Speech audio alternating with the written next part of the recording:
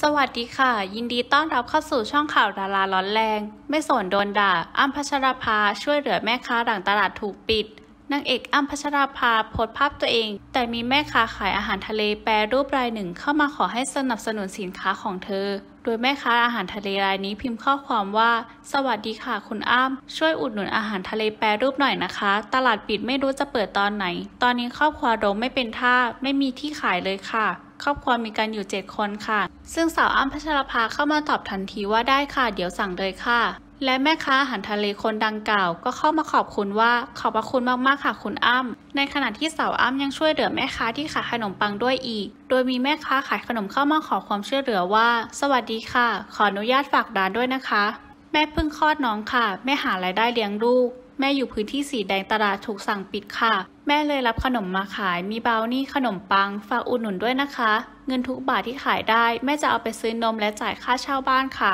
เมตตาเด็กๆด้วยนะคะ ซึ่งอ้ำบัชรภาก็ได้เข้าไปตอบว่าได้ค่ะ เดี๋ยวสั่งไปค่ะ